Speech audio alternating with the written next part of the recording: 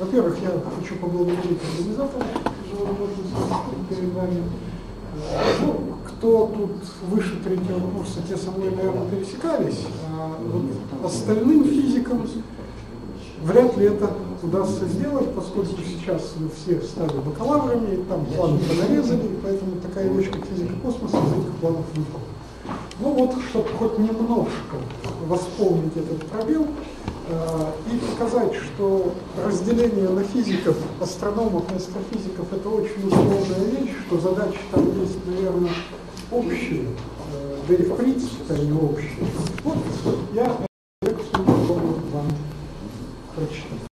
Чтобы вы просто понимали, кто чем занимается, э, есть ли ваши интересы в этом, можете ли вы в этом участвовать, важно ли это, а то иногда думают, что астрофизика, ну, так, удовлетворение любопытства за счет налогоплательщиков, ну, это любая наука, да? кроме, может быть, военной, э, да и то. Э, ну, давайте посмотрим. Так, вы будете, да?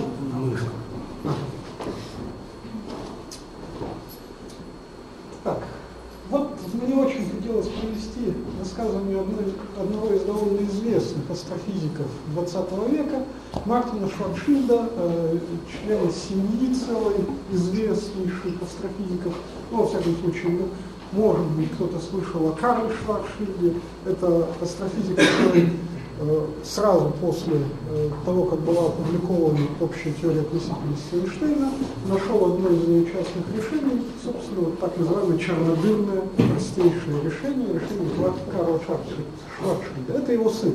Э, он жив, работает до сих пор, это, конечно, в возрасте уже большом. Так вот, обратите внимание, вот на это. Хотя законы, которые мы стремимся открыть, может быть и совершенны, но разум-то далек от совершенства. А, то есть э, мы очень редко упускали возможность впасть в заблуждение а, и сделать ошибку. А, и когда я думал о том, что же вам такое рассказать, у меня, честно говоря, был некий ступор, когда Борис э, попросил сделать некий общий обзор, э, и сколько же надо времени, чтобы сделать общий обзор по астрофизике. Астрофизика – это вся физика, это химия, это сейчас уже и биология, вот как тут общий обзор. Конечно, обо всем я не расскажу, но я хочу, э, конечно же, рассказать о самых современных направлениях, а главное о том, как мы зачастую впадаем в заблуждение, э, выдавая то желаемое за действительное, то просто ошибаясь с интерпретацией того, что мы видим, и насколько здесь надо быть аккуратным и осторожным, насколько надо уважать экспериментаторов в первую очередь, потому что только они имеют право судить, правы ли физики или нет, те же теоретики. А, ну и насколько сами интерпретаторы, э, экспериментаторы тоже являются людьми, и чем все здесь ограничено. Ну вот давайте посмотрим. Но, во-первых, поскольку вы не астрофизики, не астрономы в профессиональном смысле этого слова, вот такие интересные поначалу факты. Зачем э, ваши организаторы это просят подобные темы рассматривать? Вот смотрите, э, около трети учащихся британских школ считают, что наша планета имеет еще какое-то название, кроме как Земля, которое звучит более солидно, официально и прочее. Ну ладно. Теперь вот это вот притча во языцах что вокруг чего вертится. Задорновский наверняка слышали, как на эту тему хихикал. Ну ладно, вот смотрите, 30% жителей сомневаются, что Земля движется в пространстве, она должна быть прибита к чему-то, крепко сидеть там. Ну и Солнце тогда вращается вокруг Земли.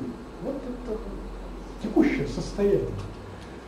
А, Солнце и Луна тоже о, природе, о разнице природы этих объектов и их роли в нашей жизни тоже примерно треть жителей не имеют представления. Что светит оба, почему это тогда разные. А, вот это я лично встречал не один раз у студентов такую точку зрения. Действительно, что э, у нас год по определению это месяц. Вот. Очень многие почему-то так считают. С чего вдруг, не очень понятно, но Видите, до 60% населения считают, что один оборот вокруг Солнца – это месяц. а вовсе не год. Э, кстати, те, кто немножко задумались на эту тему, конечно, легко скажут, почему так происходит, почему мышление идет в этом направлении. А, ну а о, о планетах тоже, увы, вроде все близко, сколько тысячелетий про эти планеты мы уже знаем, но видите, два из пяти британских школьников считают Марс бутылочкой. С планетой не ассоциируется само название. Вот это та база, с которой зачастую приходится стартовать. То есть те студенты, которые к нам приходят на первый курс, в большинстве своем не сильно отличаются от там всего. Ну, что есть, то есть. Как говорил в свое время Виссарионович, другого народа у меня для вас нет. С кем мы можем работать, с тем мы и работаем. Ну и теперь, что же сейчас самое интересное? В астрофизике, ну, естественно, в физике. Э, вот это официальный тем, официальный список, то есть это научный совет РАН составил такой список, что же сейчас надо изучать в первую очередь, с другой стороны, на что более-менее могут дать деньги? Э, в современной науке, сложные взаимоотношения. Ну вот, смотрите, э, первые две, вот это по сути космология, и это в основном не астрофизика. Вот физики-теоретики, которые здесь есть, знают, что в первую очередь этим занимаются не астрофизики, а физики-теоретики, математики, поскольку это не столько астрономия, сколько теория строения элементарных частиц и единая теория поля. А, другой вопрос, что проверить эти построения а, на микроуровне а, зачастую невозможно. Гравитация все-таки участвует а это специфическое очень взаимодействие. А, но, тем не менее, традиционно считают все, что вот это астрономия, на самом деле астрономы-то этим не занимаются. Астрономы поставляют некоторый материал для размышлений или для проверки того, что делают специалисты физики элементарных частиц, в первую очередь. А, второе. С одной стороны, вроде бы чисто астрофизическая тема формирование эволюции галактик и звезд. Компактные релятивистские объекты. Ну, компактные релятивистские объекты – это белые карлики, нейтронные звезды, черные дыры, то есть это то, что обычно, во всяком случае, остается после эволюции звезд. С черными дырами тут могут быть некоторые сложности. А, с одной стороны, тоже астрономия в чистом виде, а с другой, с другой, вы в какой земной лаборатории получите либо Э, плотность в одну частицу в кубическом сантиметре, либо плотность 10 в 15 грамм в кубике. Ну ни в какой очень. А это как раз такие объекты. Ранние этапы очень разреженное состояние вещества, поздние этапы очень конденсированное состояние вещества. Кому это надо? Только астрономам? Очевидно нет, потому что уравнение состояния опять и сюда пойдет, да и вообще понимание строения материи, то есть квантовая физика, физика твердого тела, она требует э, вот этих хвостов, потому что это сейчас это асимптотические приближения часто. Э, причем, если сверхплотное состояние вещества, да, оно крайне интересно, но как к нему подойти, мы до сих пор не очень хорошо понимаем, потому что наблюдать э, подобные вещи вблизи от себя, Солнечной системы, нам, увы, не удается. Ближайшие нейтронные звезды, которые могут наблюдаться, это все-таки сотни парсек минимум, а реально дальше. А, то есть несколько сотен световых лет. Это минимальное расстояние, где еще что-то удается подловить. А, та же крабовидная туманность, например, из известных объектов. И тут сложностей много, сам объект не виден, видно его окружение в основном. То есть, ну, если в оптике нейтронную звезду мы разглядим как светящийся объект, то детали на поверхности, то есть интенсивность излучения, порождаемой этой звездой, мы все равно исследовать не можем. А, то вот разреженное состояние вещества уже зачастую гораздо интереснее. А, то есть квантовая механика, ну, вроде бы решает уравнение Шрёдингера для тех или иных атомов, молекул, э, дает нам энергетический спектр, соответственно, их поведение при взаимодействиях. Ага, сейчас. Э, тут же все сближение со взаимодействием, то есть э, ладно у нас был один атом, который мы можем исследовать, но где вы его в лаборатории видите? Атом, на который ничто не влияет, не мешает получать нем информацию. Как правило, этого не получили, просто не получили. А, а в астрофизике попробуйте прикинуть. Э, одна частица, даже одна десятая частица в кубическом сантиметре длину свободного пробега подобной системы. То есть у вас э, сотнями, иногда тысячами лет система свободна от внешнего воздействия. И вы можете подловить очень точно реальный энергетический уровень. Не по моделированию, а по прямым измерениям. Вы гораздо более точно, чем в любой лаборатории, можете получить спектр подобных систем, а значит, потом уже, решая обратные задачи, посмотрите, почему там как с теорией сходится. В лабораториях такое пока недоступно. Ну, эта тема понятна. Э, правда, вопрос такой, с научной точки зрения она понятна или с финансово политической, но это сейчас очень важный раздел. С одной стороны, Солнце один из самых плохо исследованных объектов, а на нас оно влияет. Причем, ну, вот, может быть, вы, правда, к счастью, молодые основном все. А, конец прошлого года наверняка могли замечать, что с головой что-то не так. А, причем так сильно не так.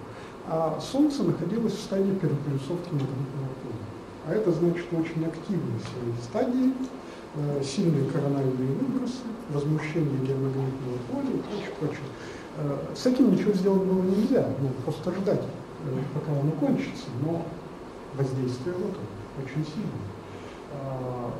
Ну и поскольку год назад, чуть меньше, Челябинску едва-едва не повезло, ну, чуть ниже пошел этот обломок и Челябинска, то сейчас очень сильно подхлестнута вот эта тема.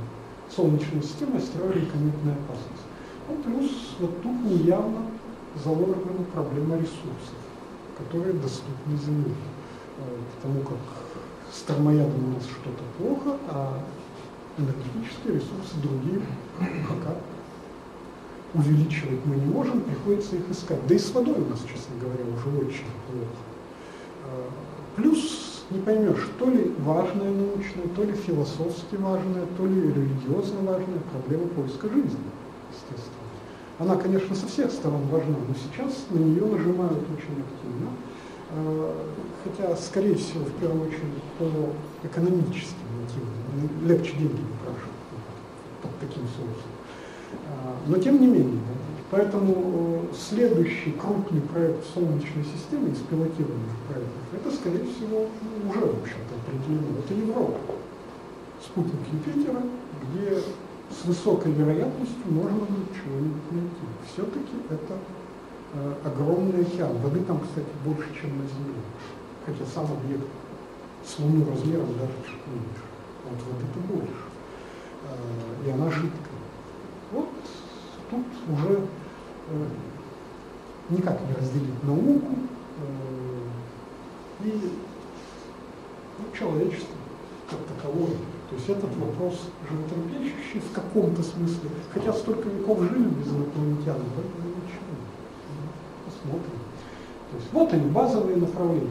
Все э, эти направления я рассматривать и представлять не буду, но кое-что покажу. Надо понимать, что у нас есть очень сильные ограничения. Почти во всех случаях управлять экспериментом в астрофизике нельзя. К сожалению, конечно же. То есть вот что объект хочет сообщить, то и сообщить. Причем надо еще уметь понимать это сообщение, интерпретировать его. К сожалению, э, в курсе общей физики, да и, в общем-то, в курсе теоретической физики, который вам читается, практически не отводится время на вполне такую общую, стандартную проблему переноса излучения. Это вовсе не только астрономия или оптика как таковая. Э, например, э, Келдыш, слышали фамилию, президент Академии наук СССР, э, в 1940-1941 году, он никогда никаким астрономом, астрофизиком не был, занимался задачей переноса излучения с какой точки зрения? А вот подводная лодка плывет, вы находитесь внутри. Что вы сможете увидеть в диффузно рассеивающей среде? Это, конечно, не поиск других лодок, поздно на таких расстояниях будет что-то делать, если вы увидите другую. Это поиск мин, в первую очередь. То есть вот эта задача решалась. Но классическая задача переноса излучения тоже. Так вот, увы, это почему-то у нас не читается. Э, дело в том, что если бы вы хоть как-то с этим сталкивались, вы поняли, насколько это некорректная задача, интерпретация принятого, э, по принятому излучению условий, в которых оно возникло. Это задача, естественно, обратная, полностью некорректная, допускающая множество решений. И вот попробуйте не сойти с верной тропки в этой интерпретации. Увы, но пока по-другому никак. Ну, таковы наши знания физики и математики. То есть свертка интеграла обратно э, однозначно не разворачивается, если вы не знаете свертывающей функции. А вы ее практически не знаете. Ну, поэтому вот приходится по классикам действовать. Э, иногда слишком, конечно, смело действовать. Чья фраза? Еще помнит? Не ты, может. К счастью, не политик. Ну, кто Мичурин такой тоже, наверное, уже много кто помнит. Это агроном, э, биолог, ботаник. Э, большинство, кстати, тех сортов яблок, груш, э, слив, которые сейчас в России произрастают, особенно северные, это к него пошли. То есть он занимался селекцией. Ну, поскольку я уже неоднократно говорил, что главное все-таки начинать с реальности, то э, чуть-чуть о роли наблюдений и о возможностях современных. Ну, о роли-то я, в общем-то, уже сказал, а о том, как мы умеем испортить э, поступающие данные, позже расскажу. Э, но возможности. Понятно, что поскольку все наши объекты достаточно далеко, и надо в первую очередь их хотя бы увидеть, а хотя бы увидеть, почему важно. Это вопрос о селекции наблюдений, в первую очередь. То есть если мы что-то не видим, мы это выкидываем из статистики. А если мы выкинули из статистики, может получиться совершенно непредсказуемый результат. То есть выбор становится нереальным.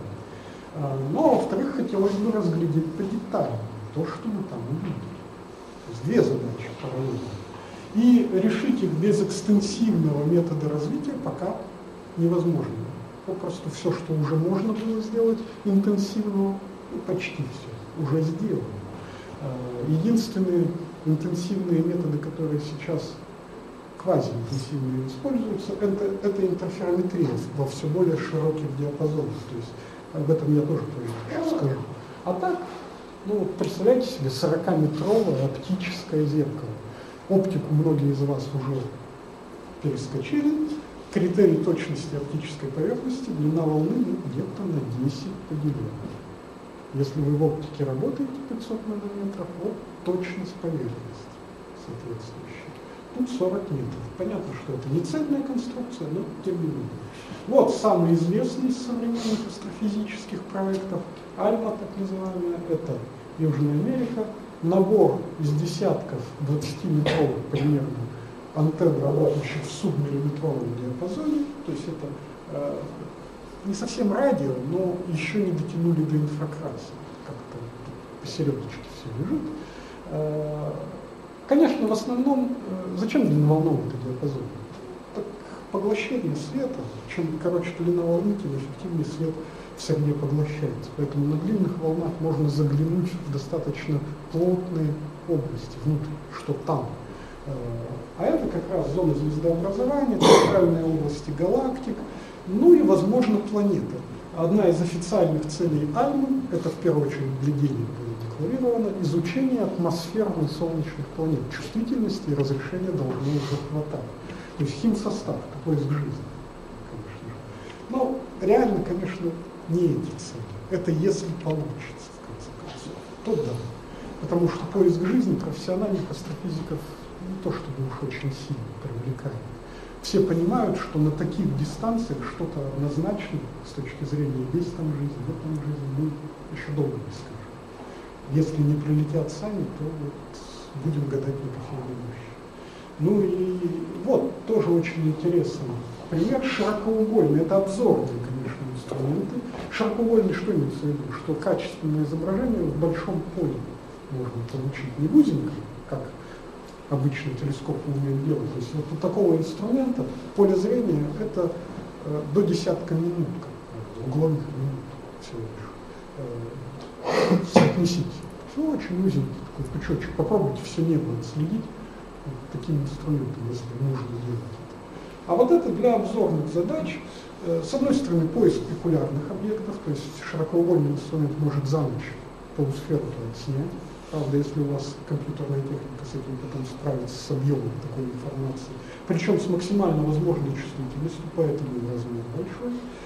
А, ну и вот та самая стероидно-кометная опасность тоже.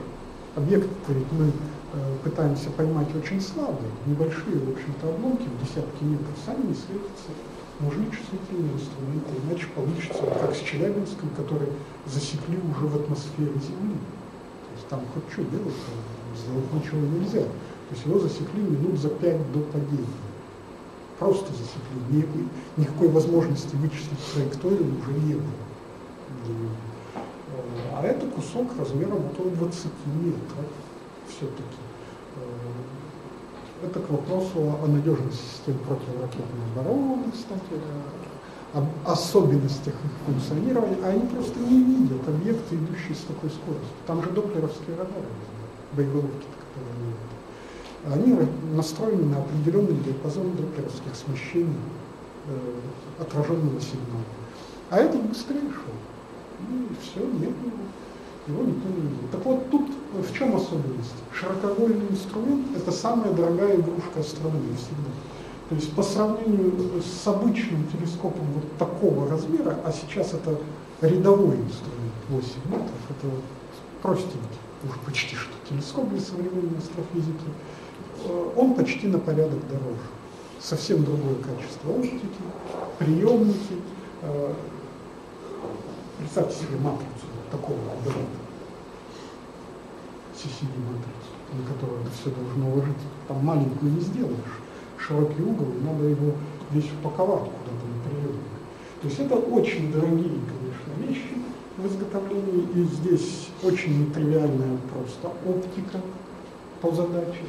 Но вот сейчас они строятся.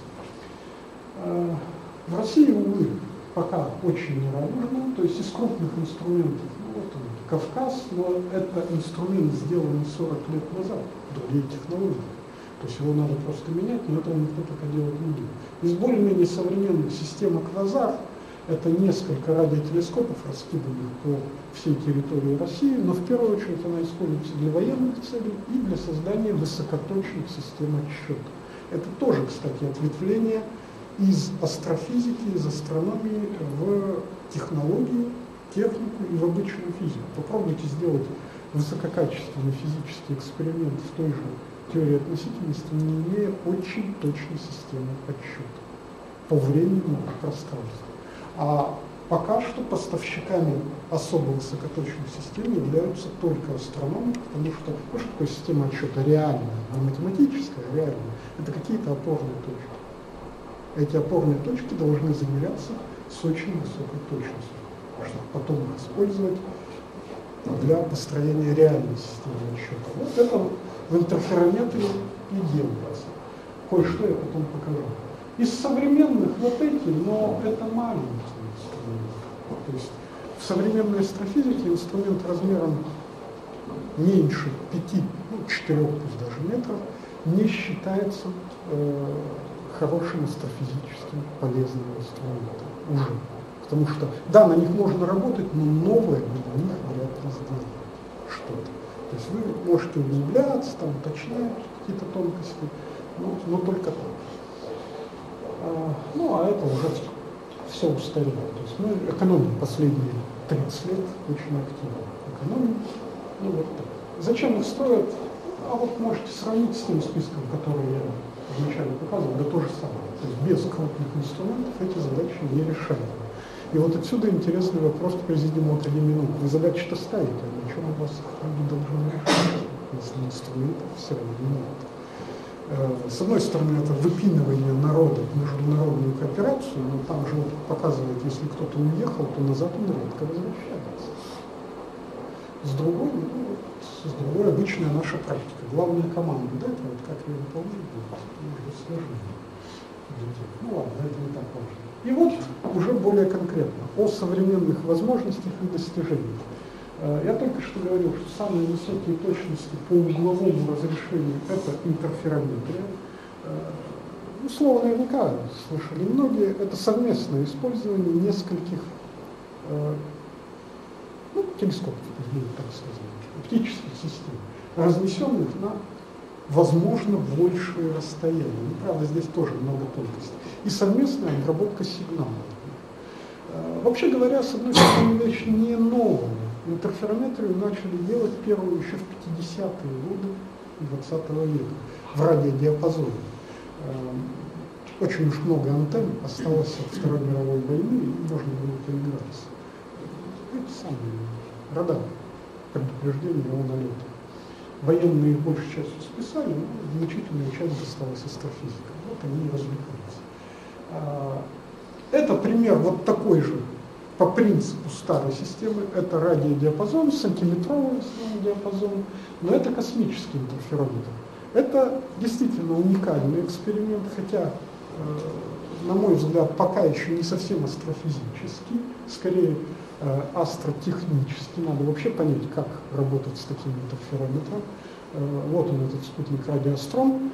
Э, один из немногих примеров за последние годы, когда у нас что-то с Земли взлетело и заработало, а не вознеслось, э, там и осталось. Э, ну, радиострон делали это 20 лет, поэтому вот, его еще специалисты начинали нормально делать. Может быть, поэтому так получилось. Но, к счастью, он работает уже два года примерно, и есть надежда, что еще 2-3 года он уж точно проработает. Хотя тут надо сплевывать и прочее с ней проблемы сложнее. У нас нет современного производства космической электроники. Там технологии нужны совсем другие для этих подложек.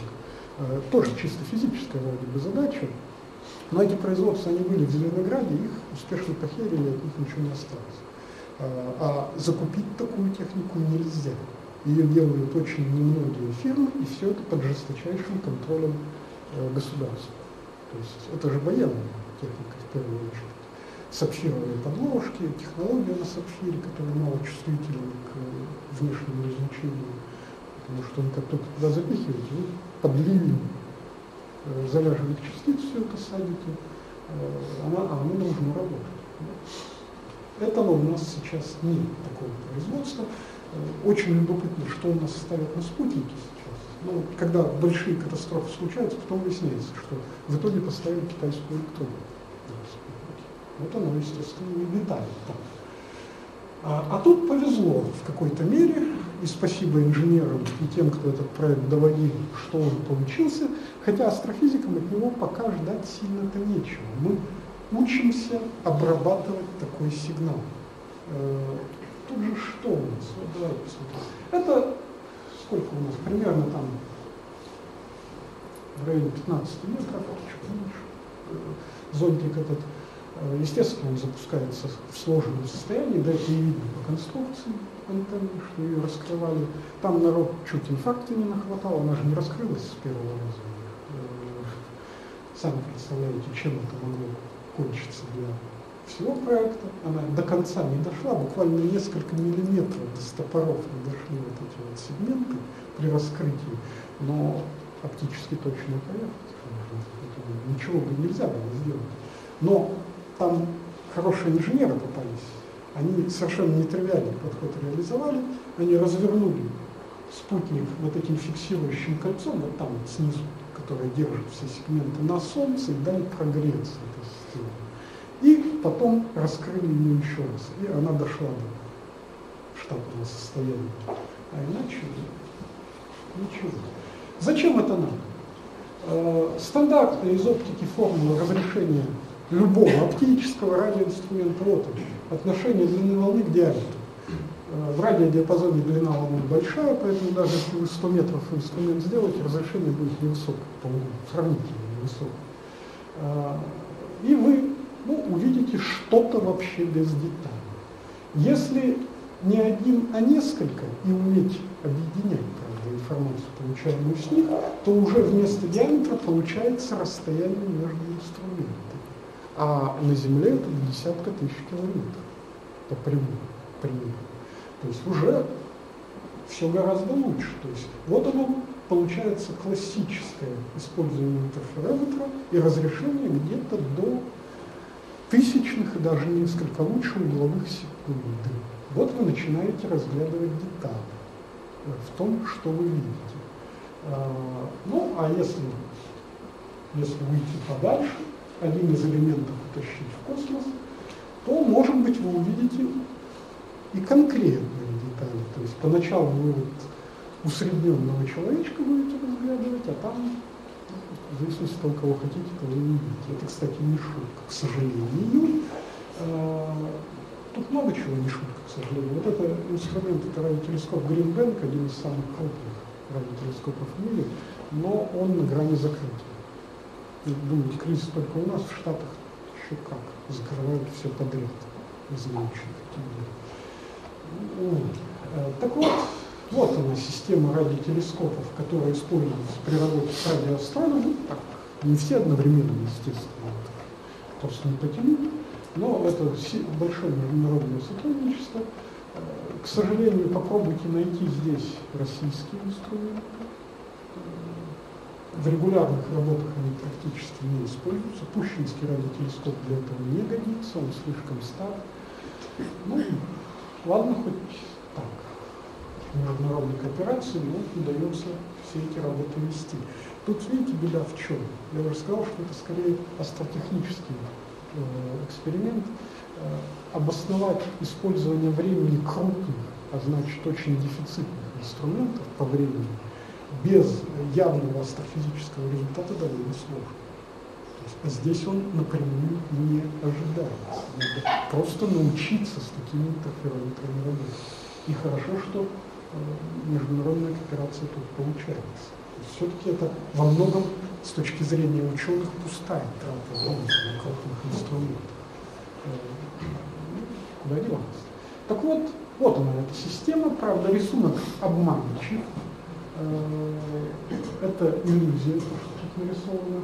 Э, сам радиоастронавт э, стоит на очень вытянутой эллиптической орбите, э, видите, перигей, то есть ближайшее расстояние до 10 тысяч километров от Земли, а апогейная больше 300, а больше 300 это орбита Луны.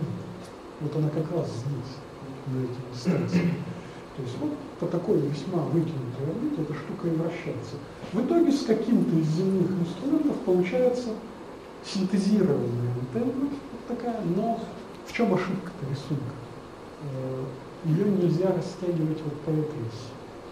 Она линейно длинная, большая, но у нее нет вот этой большой площади. Это говорит о том, что чувствительность такой системы, конечно, будет невысокой, и она определяется чувствительностью, э, к счастью, к счастью, во многом большего инструмента а не меньшего, хотя меньше тоже влияет. А, но вот разрешение будет очень неоднородно по пространству. То есть только вдоль вот этой большой оси. Высокое угловое разрешение сработает. А вот дальше сработает математика и физика, конечно же, особенности вообще функционирования интерферометра. Интерферометрия, если вы вспомните физику и оптику, требует сложения сигнала с точностью до фазы чтобы вы увидели картину взаимодействующих двух пучков света. Здесь требуется то же самое. И э, можно задать вопрос на засыпку. Э, это, кстати, чисто физический опять же вопрос. А почему на протяжении почти 50, даже больше лет интерферометрию делали в основном в радиодиапазоне? В оптике только-только начинали. Хотя изначально интерферометрия, если уж в историю совсем удалиться, то вы, вы, вы, кстати, должны были тут меня закинуть ногами и кричать «врешь», знанию, потому что еще в школе э, на физике вам должны были рассказывать эксперимент Майкельсона. Э, там измерение скорости света, но Майкельсон отметился в 20-е годы уже экспериментом э, с интерферометрией в оптике. Это первые реальные измерения диаметров звезд, Бетельгейза, одна из близких к нам гигантских звезд. Вот это интерферометрия в оптике, но дальше дело не пошло. Таких объектов просто больше нет. Крупных и близких. И не сработало оптике. Потом только радиодиапазон. А почему? Ответ-то, конечно, элементарно прост. Интерферометр требует сложения сигналов с высокой точностью. А, в радиодиапазоне, и это, кстати, идея была советских астрофизиков, сигналы с разных инструментов можно записать, у них частоты очень высокие. То есть они могут быть записаны на некий носитель, и одновременно с этим на этот же носитель нужно, естественно, и можно записать высокоточные метки времени. То есть длина волны просто большая, и фазовая ошибка допускается тоже достаточно большой. То есть вы можете все-таки э, не требовать там точности в нанометр при сложении сигнала. Э, если у вас, как это начиналось, это э, метры примерно, ну вот прикиньте, скорость света известна, примерно допустимую фазовую ошибку. То есть если у вас есть атомные часы, вы записываете их сигнал одновременно с сигналом с инструмента, свозите в одно место, синхронизируете, обрабатываете. Все просто. А вот просто попробуйте это сделать. Как записать оптический сигнал с точностью до фазы? До интенсивности, пожалуйста, почернение пластинки там или интенсивность приемника, сколько угодно. Но надо это до фазы.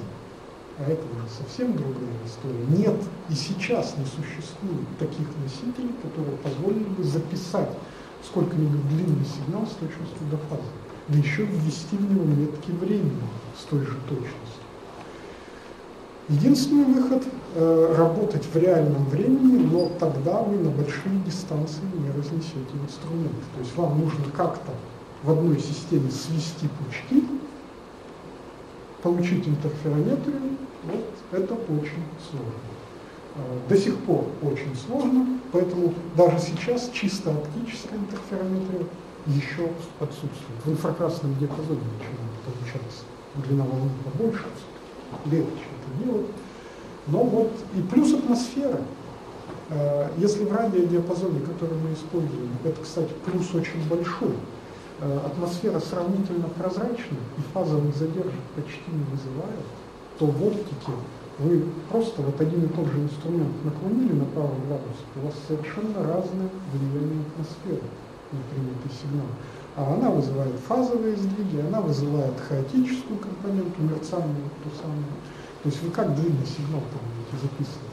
Это, скорее всего, удастся делать только в космосе, нормально, таким образом, человеческим. Либо надо обходиться очень недлинными базами оптического интерферометра, то есть сильно разносить инструменты нельзя, э, чтобы атмосфера одинаково влияла на сигнал. Вот тут все плохо. Э, поэтому пока работают в первую очередь в радиодиапазоне, но оптика очень э, такое важное сейчас направление развития интерферометра. Вот практический результат. Какая астрономия? Вот это теми самыми интерферометрами, в том числе радиоастрономом, э, промерено движение материков биофизика. Это и предсказание землетрясений, хотя не умеем мы этого делать совершенно, потому что модель Земли у нас плохая не понимаем, что у нас под ногами происходит. Но видите, с какой точностью примерно идет работа? Это в год, не год сигнал никто не копит. То есть измеряются гораздо меньшие скорости движения объекта. Это тоже все очень нужно, прежде всего, для построения тех самых высокоточных систем отсчета. Она же у нас, как правило, к Земле привязана, так или иначе. Но Земля-то не есть незыблемый фундамент. Вот видно. Вот. Это как пульс бегает по поверхности Земли. Тут, правда, не линейные меры, это миллисекунды дуги. Ну, даты, видите, то есть 13 год, 10 год. То есть примерно за 2-3 года да, пульс на поверхности Земли, вот такое хозяйство описано. Понятно, что основано здесь прецессионное движение, как таковое, раз близко к окружности, но хаотический компонент. Вот время, то есть как длительность суток прыгает, тоже миллисекундная. Это вот внутреннее строение Земли, влияние Луны, Солнца, даже близких планет вот, приводит к тому, что использовать Землю как эталон в системах измерения времени мы уже не можем. Мы только должны более-менее синхронизироваться с вращением Земли. Э, такие точности достигаются пока только радиоастрономическими способами. Но, опять же, можно вернуться. Все современные особо высокоточные, например, измерения на ускорителях требуют очень точных шкал времени. Причем зачастую синхронизированных. Э, сейчас уже ставятся эксперименты разнесенных пространств. И надо сопоставлять, как они там коррелируют, не коррелируют друг с другом. Для этого нужны системы времени, которые привязаны к реальному, э, к реальной геометрии в данный момент. То есть вот к той минимум четырехмерной геометрии, которая в общей относительности речь идет. Но чтобы эту привязку сделать, надо знать реальное состояние системы. Вот это все идет отсюда. Ну а дальше, что интерферометр может? Вот одна из любимых игрушек как астрофизиков, так и э, теоретиков, так называемые квазары, активные ядра галактик.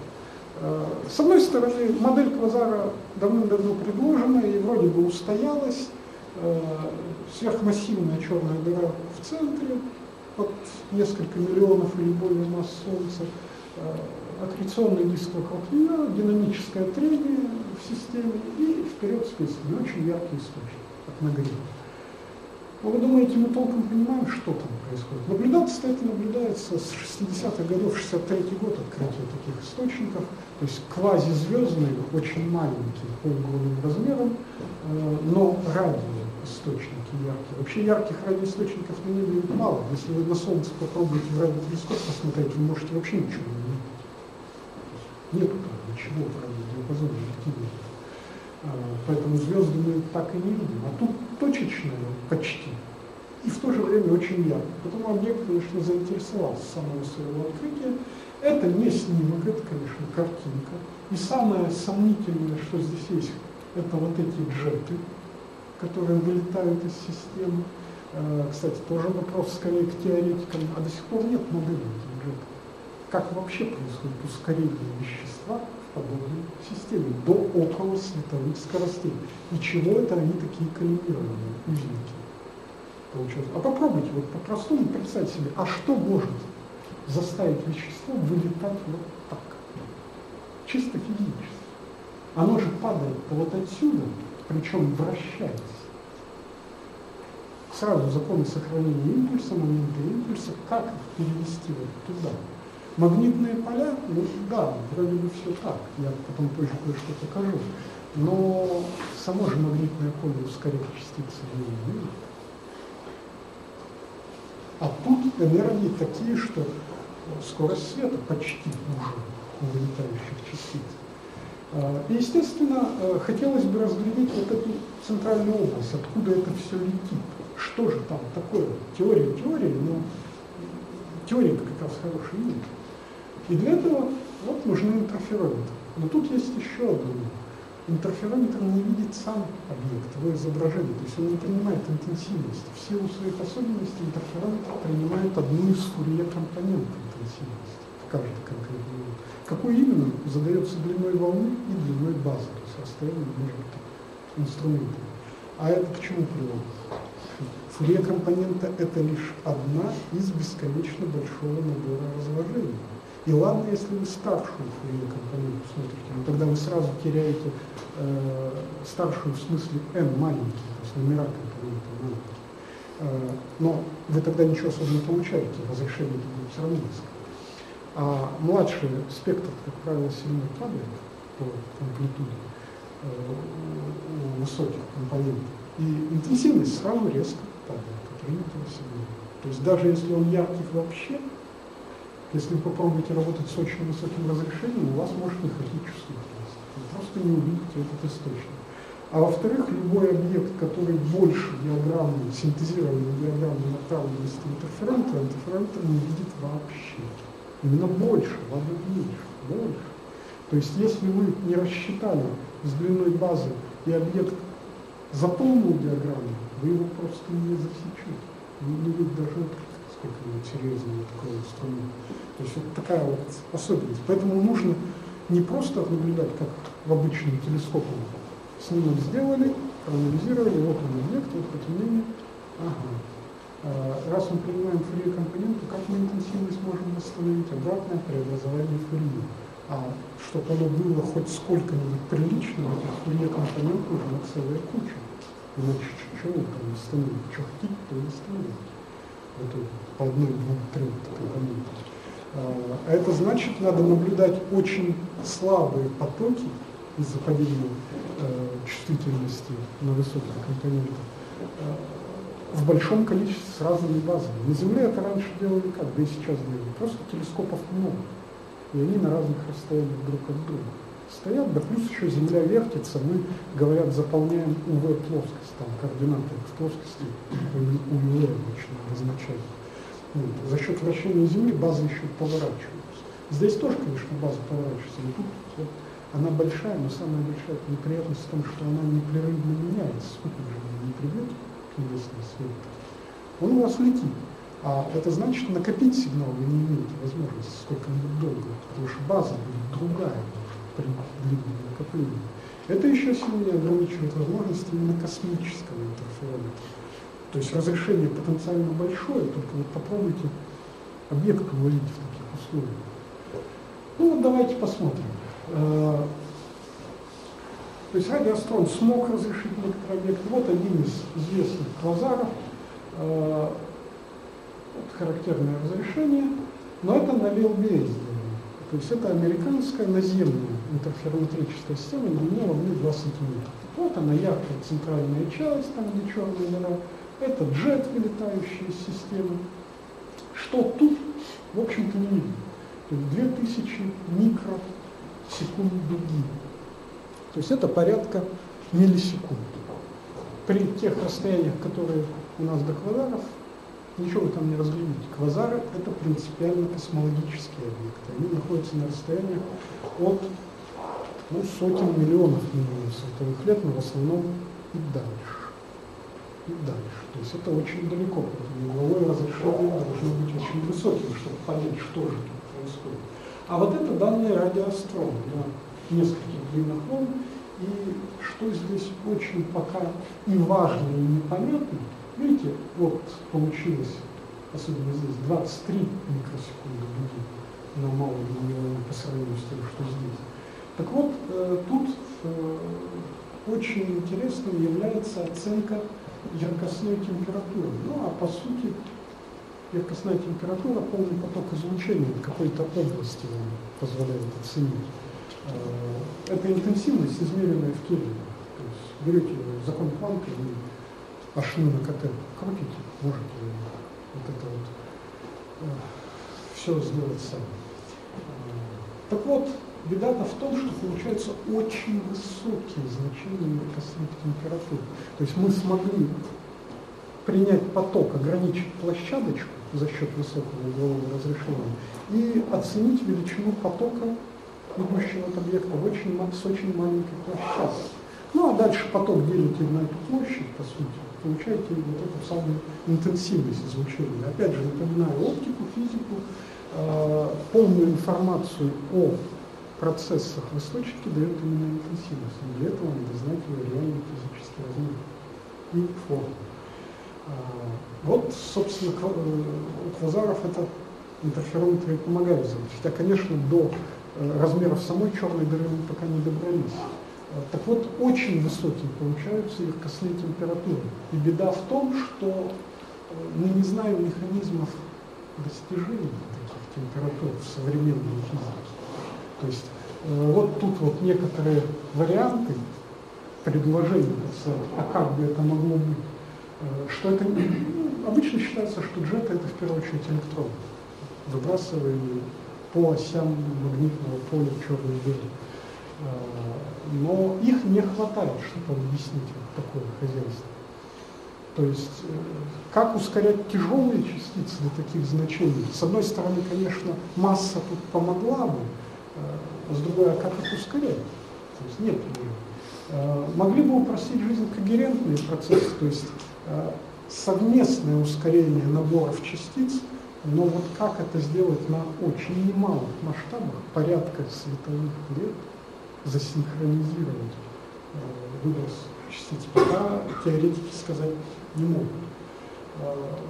Непрерывное ускорение, опять же, откуда поля, которые это могут делать на больших масштабах пространства. То есть не только там, около черной дыры ускорили, ткнули и полетели, а на сравнительно большой длине все время ускорять, ускорять, ускорять. А, электрические поля, они не по закону единицы на r квадрат спадают в этом случае. Хотя и это уже быстро все кончится, нам уже нужны сверхвысокие ускорения. А поскольку там порождение электрических полей мощных, скорее всего, за счет магнитного поля, там R в пятый запуск появится. И тоже не ясно. Ну, это любимое занятие, то есть давайте подгоним под, желаемое, там, сделаем что-нибудь очень узким, очень компактным, там, большие напряженности, но это, это все так. Вот, собственно, оценки откуда появляются. Вот это уже изображение с радиоастрона, расстояние, видите, полтора гигапарсек. Парсек это три световых года. А, и разрешение получается вот реально, ну вот кружок самого инструмента. За счет сканирования тут удается несколько повысить разрешение. А, вот 5 парсек в масштабе снимка. То есть это центр квазара. Видна сама яркая область, и вот оно, сопло, горло струи, вылетающее из этой области. Оценка не более светового года. Вот что коллимирует так систему, э, эта оценка, кстати, тоже очень важна, потому что она уже позволяет делать оценки плотности энергии в системе, реальной, а не по соображениям общефизическим. Вот, вот видите, просто взяли, повысили разрешение, и сразу возникают минусы чисто физических проблем. А где механизм ускорения частиц? Это вопрос, в общем, не столько к астрофизикам, сколько к физико-теоретикам возникает. А мечта-то, цель, вот а, а, не только струю вот эту отследить ее уровень, а попытаться все-таки проверить, черные дыры-то реально существуют или нет. Никто до сих пор их не видел, как черные дыры. Есть лишь оценки по массе объекта, э, что очень массивный, но компактный объект. Значит, черная дыра. А здесь при таких разрешениях потенциально есть возможность увидеть тень черной дыры в аккреционном диске. Ну, до этого вот пока не добрались, но э, те, кто работает с радиоастроном, говорят, что надежды такие у них, по крайней мере, есть. Может быть, удастся вот такого рода картинку получить, и тогда оценить реальную зону горизонта событий по масштабу. Ну и, возможно, вот, э, опять же, выходы э, в неклассическую теорию гравитации, то есть это зависит от того, что же там имеется. Может быть там что-то нетривиальное, не, не стыкующееся с атомом в чистом виде, или нет. Тут заранее никто, конечно, не скажет но эксперимент именно в этом направлении. То есть проверка атома здесь, конечно, запланирована следующий объект тоже очень маленький, очень важный. Я тут сейчас побыстрее. Пульсары, быстро вращающиеся нейтронные звезды. Это, кстати, самый высокоточный эталон времени, который нам известен, то есть наземные хуже. А, пульсары дают большую стабильность до 10 минус 15, 10 минус, может быть, 17 секунд. Э, кратковременная стабильность частоты таких источников. Ну, хороший волчок, очень высокая симметрия распределения масс в таком 10-километровом примерно объекте с плотностью атомного ядра. Вот. А, поэтому тут тоже, если с высоким разрешением посмотреть, возможная проверка атом, а, ну, а вот это, вот это я сейчас покажу. Вот что получилось, и до сих пор не ясно, почему так получилось. Это интерферометрическая картина изображения пульсара. Вот он, с меньшим разрешением, тоже видите джет, выбросы газового вещества, аккреционный диск, то есть все классически. Но вот изображение пульсара вместо одного яркого пика дало довольно широкую область э, из кучи очень узеньких ярких пиков. Э, причины до конца пока неизвестны, ну, собственно, это и сделано месяц назад было все лишь вот такое изображение 12 год, мы его обрабатывали очень долго, мы считали, что там ошибки, э, что-то они не так интерпретируют и прочее. Э, предположение вот какое. Ведь сигнал-то идет через межзвездную среду, а она неоднородна. А поскольку источник почти точечный, возникает, естественно, дифракция в сгустках неоднородностях среды, и мы видим суммарный сигнал, такое вот дрожание, как мерцание звезд в атмосфере примерно. Ну, может быть, это все надо и моделировать, и смотреть, что получается. Масштабы это сейчас известны. Следующий раздел – Э, поскольку у вас анонсированы тут специальные доклады на эту тему, я не буду вдаваться в теоретические особенности того, что мы вот тут, вот, вот сюда как мы выходим, в эту новую физику, это вам расскажут куда более профессионально и качественно, но кое-что скажу. Прежде всего, с точки зрения наблюдений, как мы их понимаем. Итак, с 65 -го года успела устояться красивая, вполне неплохая и уже привычная, я вот специально тут написал, и понятная даже в каком-то мере, в какой-то мере модель нашего мира, Вселенной. А, это еще модель Вселенной в смысле universe, одиночной Вселенной, то есть мы не подразумеваем наличие multiverse каких-то других вариантов, э, как в инфляционных, допустим, моделях. А, то есть Теоретически это было предсказано э, еще в начале 20-х годов 20 века, Фридман, собственно говоря. Потом работы Гамова как раз по нуклеосинтезу э, в первую очередь, то есть объяснение химического состава Вселенной, какая она должна была быть, чтобы получилось то, что мы видим сейчас. А, ну и в 1965 году, когда официально было открыто космическое микроволновое излучение, Э, на, ну, на температуре около 3 кельвинов с очень хорошим планковским спектром, э, очень однородная, изотропная. Модель получила подтверждение, все получилось красиво. Некий большой взрыв, правда, это точка сингулярности, и она из модели естественного подобия. Объяснить сам большой взрыв в рамках физической модели еще никто не мог. Чисто Э, так скажем, искусственно, с точки зрения статистической физики, пожалуйста, как некое случайное событие, возмущение только чего до конца не ясно, и, и чем оно было порождено, в какой среде, там же нужны, нужно объяснить энергетические характеристики этой, этого всплеска. Э, ну, такие есть, но это не очень физичные они не дают ответа на коренной вопрос, а из чего получалось, то есть что причиной было послужить большой взрыв. А вот дальше все хорошо. Э, с наблюдением все хорошо сходится, с химсоставом Вселенной до, до какого-то там пятого знака после запятой все можно свести. Получалась очень красивая картина. Горячее, плотное, однородное состояние, быстро расширяющее, остывающее. Потом вторичные неустойчивости гравитационные, конденсация этого вещества, образование галактик, звезд причем не очень даже понятно, что раньше могло начинаться.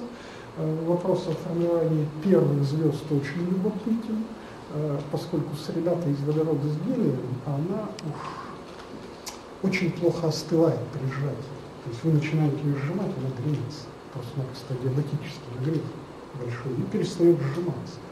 Ну, ладно, это детали. Э, ну и то, что мы видим, в итоге все получается. Все хорошо. К этой модели все привыкли, собственно, к ней до 60-х годов долго привыкали вот чисто теоретически, были уже эти предпосылки, что именно такое могло бы быть. Очень хорошо сходится с наблюдениями. А, правда, конец 20 века, повышение углового разрешения чувствительности при наблюдениях микроволнового фона показали, что неоднородности в такие есть. Но тоже они неплохо вписались поначалу существующие модели. Заодно эти неоднородности позволяли проверять э, различные варианты теории великого объединения, то есть теории элементарных частиц, э, поскольку формирование неоднородности зависит от того, в чем это формировались и э, каков был нуклеосостав вещества на самых ранних стадиях. То есть все вроде бы было хорошо. Изучаю не хочу, ну, собственно, так и происходило. То есть экстенсивное изучение здесь было очень активно. Мы прекрасно понимали вроде бы от 10 минус 43 секунды после вот чего-то, большой взрыв инфляции даже не очень-то важно пока что, что там происходило вокруг. А дальше, а дальше, в общем-то, мы все могли худо-бедно, но объяснить разумными способами, без привлечения каких-то э, непонятных, неизвестных доселе вещей. Бритва Кама – это очень сильный принцип, который всегда стараются применять. Но, но, совершенствование методов наблюдений, совершенствование приемников излучения к концу 20 века привели вот к этой уже всем надоевшей картине. То есть изучение неоднородности космического микроволнового фона, э, изучение особенностей движения сверхдальних космологических объектов, то есть на расстояниях порядка миллиардов парсек. Э, это вот та самая Нобелевская премия два года назад, или сколько уже, три или два года? Э, одиннадцатого года. То есть изучение далеких сверхновых первого класса просто как стандартных ярких источников света, для которых интенсивность излучения заранее известна что позволило достаточно точно оценить расстояние до этих источников. Попробуйте там э, 5-7, ну даже 1 гигапарсек точно измерить. Как? Только фотометрически, других методов у нас, в общем-то, нет э, для отдаленных объектов по интенсивности излучения, если мы знаем, какая она должна быть.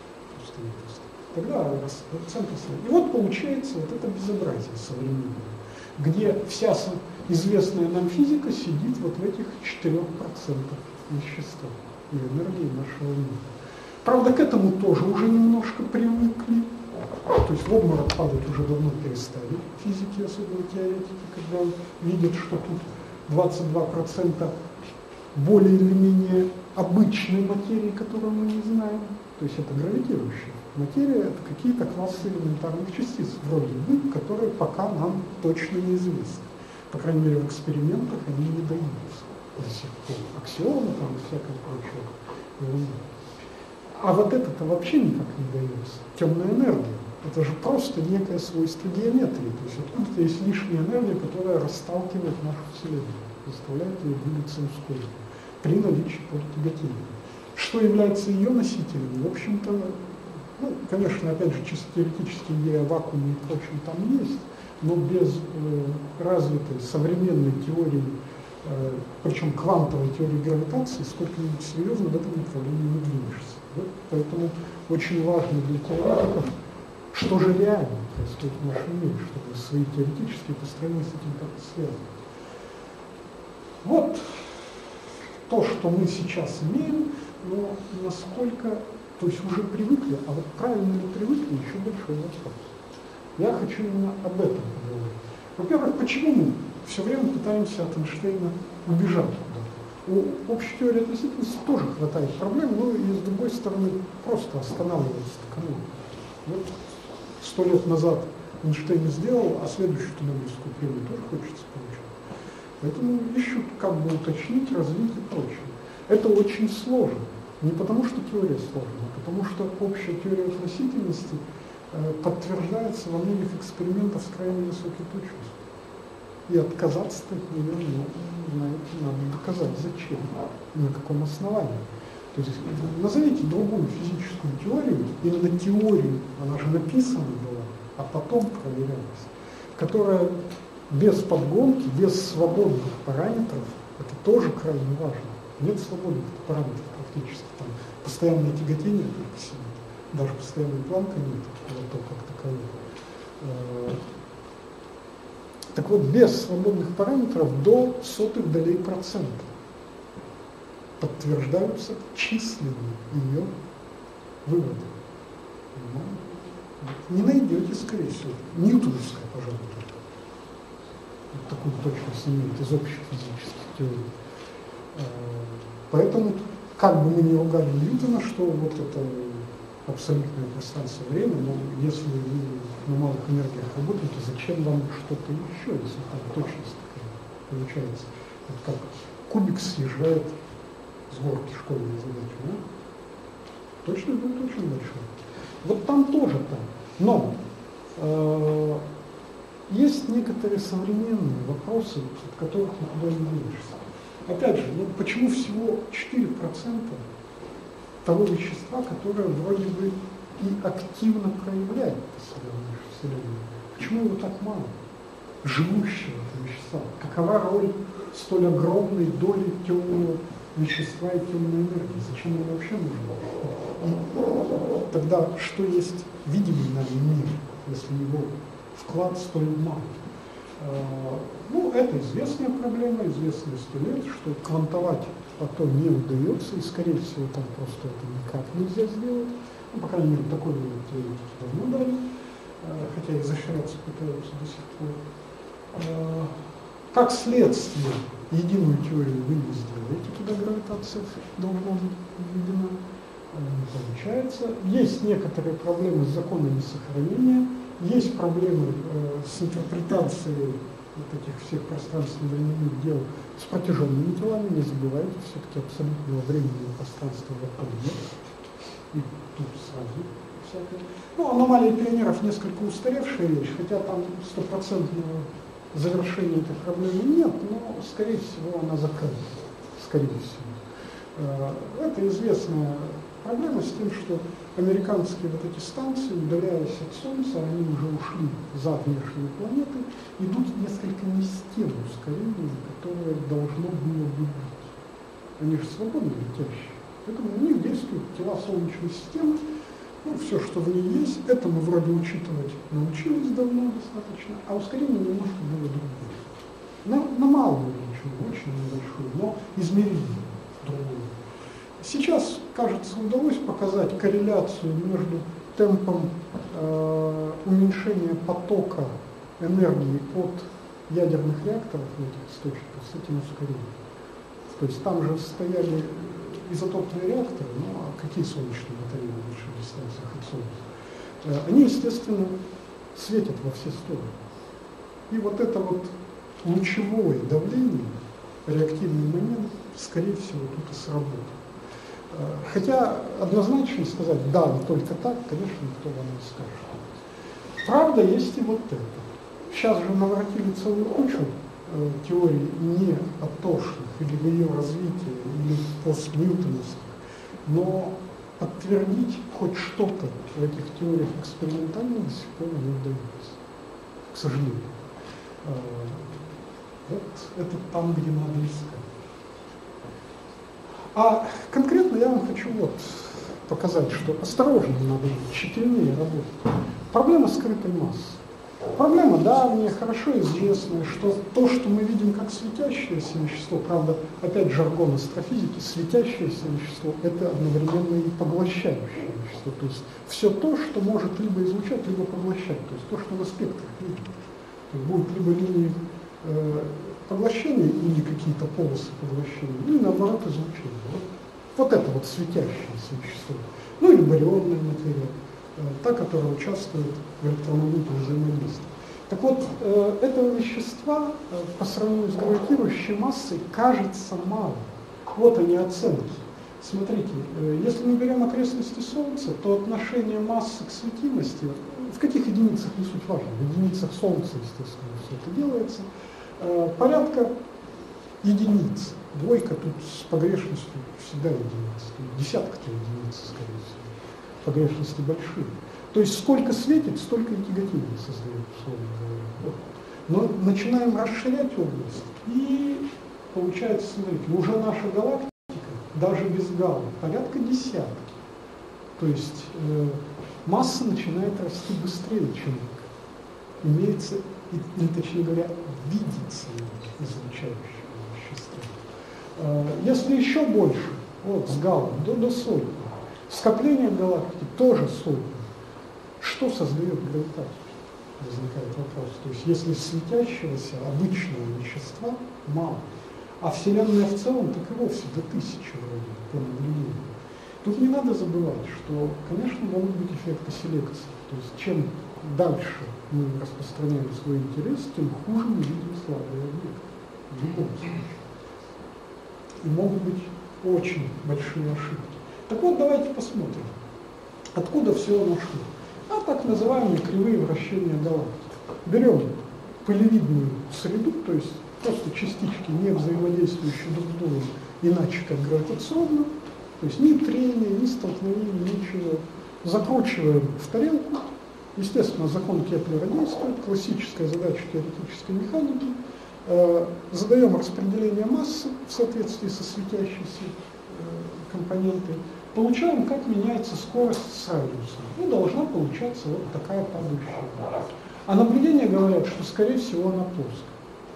Это можно интерпретировать только наличием значительной массы во внешних областях и в сферической компоненте, не в плоской компоненте этой системы. Но что это за масса? Конечно, в первую очередь бритва Акама никуда не делась. Искали обычное вещество, то есть кандидатов, которые трудно уловить э, в электромагнитном спектре, но которые вполне понятны. Например, те же белые карлики, нейтронные звезды, э, особенно остывшие. Попробуйте это очень компактно увидеть, что это, собственно, в небольшом расстоянии, как вы увидите. А, вот. Но что-то добавили, но оценки по микролинзированию говорят, столько не набрать, сколько есть.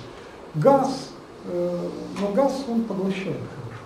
И полевая компонента, и газовая хорошо поглощают, тоже много не наскребешь. Очень горячий газ, э, вот он трудно наблюдаем, разреженный очень горячий газ, но внутри галактики такого газа почти нет. То есть есть корональный газ внутри галактики, но это не очень, это все-таки около миллиона кельвинов, и в рентгене его с 70-х годов уже ловят, про него известно. Поэтому проблема, надо атрибутировать, откуда вот это вот все берется.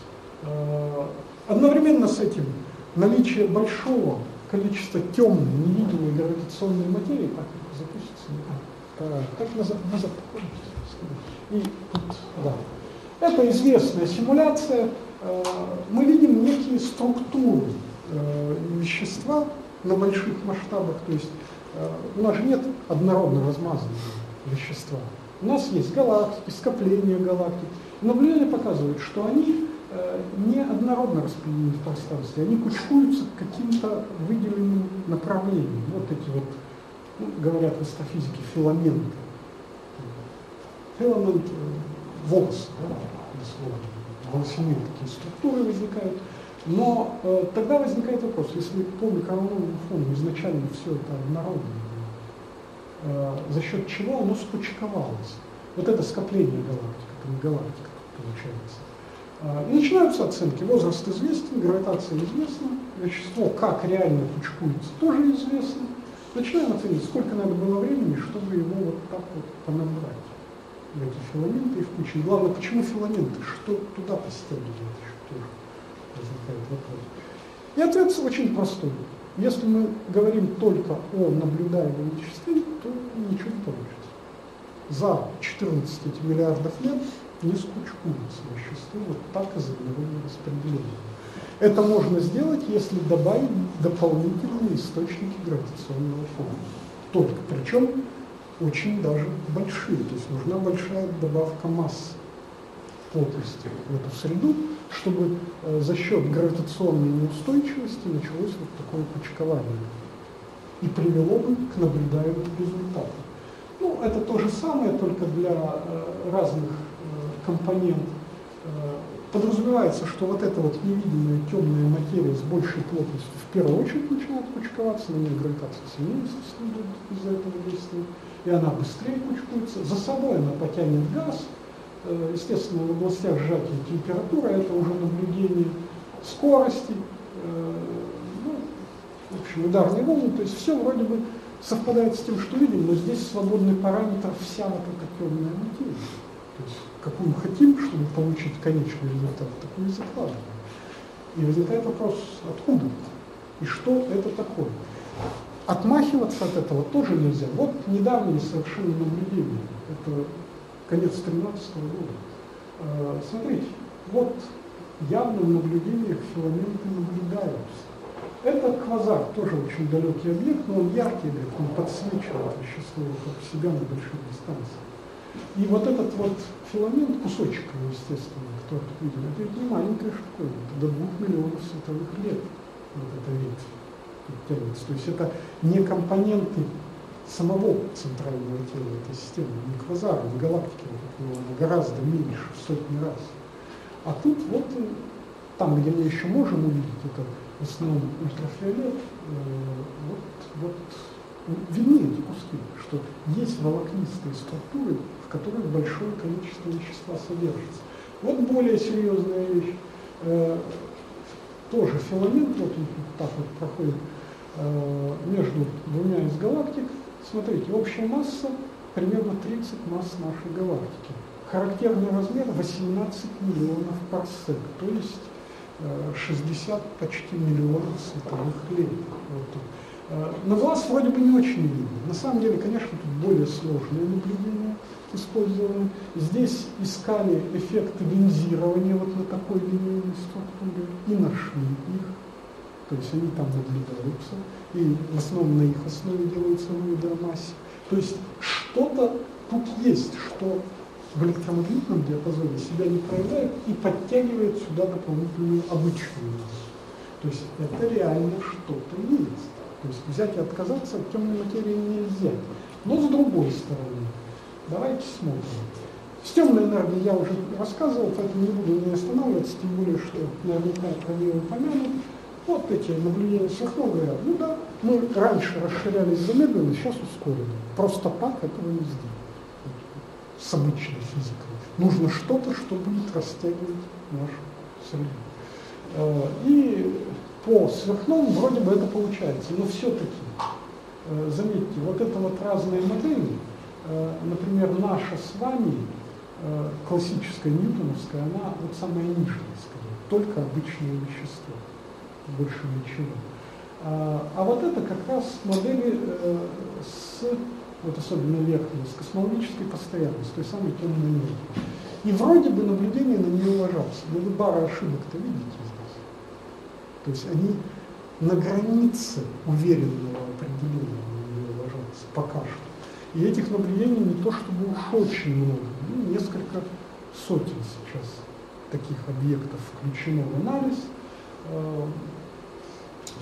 Поэтому вот тут это лучше что на самом деле мы не так уж, чтобы однозначно ложимся на верхнюю кривую, где отклонения довольно сами кривые. А, и ошибки довольно большие. Но тем не менее, вроде бы что-то в нужную сторону идет, что какая-то компонента это есть. Что оно и как, пока неизвестно. И по другим наблюдениям, то есть разные наблюдения ложатся примерно в одну точку, и сказать, что случайно не удается. То есть по сверхновому, по микроволновому фону, по его э, структуре неоднородности, по скоплениям галактик, все вроде бы ложится на модели с большой темной энергией. Ну, вот пусть теоретики сейчас снимаются. Я даже пропущу. Но, а вот теперь очень недавние работы, буквально до этого года, смотрите, зачастую все зависит от того, как мы наблюдаем. Вот это два снимка одного и того же участка мира. Вот тут огромная галактика в видимом диапазоне с массой в несколько триллионов масс Солнца, а может быть и сотен триллионов, это гигант, спиральная галактика. А вот то же самое ультрафиолет. Ну, конечно, кое-что тут заметить можно, тем более статистически. А, но если специально не смотреть вы не увидите, что тут чего-то есть. То есть э, очень сильная методика наблюдения, выбранный способ, диапазон могут повлиять на ваши результаты. Статистика-то вам, конечно, покажет, что здесь повышенное содержание, ну, ультрафиолет горячий, а, но дело в том, что молодых массивных звезд, это они и есть горячие объекты, видимо, на больших дистанциях, их мало, просто мало. Вот, отсюда эффект. В основном-то объекты гораздо более холодные. Ну, а идея вот она, то, что я вам уже показывал.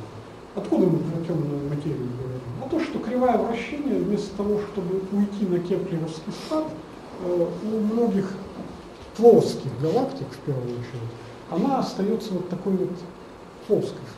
То есть надо массу, которая не дает снижаться скорости во внешних частях накопить. Но что значит кривая вращения? Ну вот она, кривая вращения нашей собственной галактики по реальным измерениям. Э, Солнце вот здесь примерно. Ну вот до сюда мы при, ну, более-менее прилично меряем. То есть здесь бары ошибок нарисованы. А что во внешних областях, которые как раз вроде и крутятся быстрее, чем нам? А видите, какие бары ошибок? Вроде бы это интерпретируется, что здесь мы выходим на плоскую вот эту. Ну и похоже. Никто не спорит. Но ошибки очень большие. Это вот недавние, в общем-то, результаты. С чем это связано? Ну а как измерять сравнительно большие расстояния?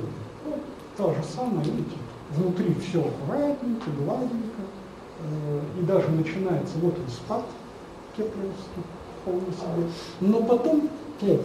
Ну, то есть как плохо? Не так, как по Кеплеру. Э, что-то с этим плохо надо делать. Все-таки, когда там такие бары ошибок, вывод ненадежный. Как мерить дистанции? Поскольку объекты нам нужны на расстояниях в несколько килопарсек, минимум, э, то прямые точные методы не срабатывают. То есть тригонометрию не применишь, параллаксы слишком много. Хотя вот в конце 2013 года успешно стартовала Гайя, астрометрический спутник, э, э, ну, лет через 10 она нам результаты даст. То есть там расчет примерно 5 лет наблюдений, потом 5 лет совместной их обработки, чтобы сырые, сырые материалы выложить для всех прочих.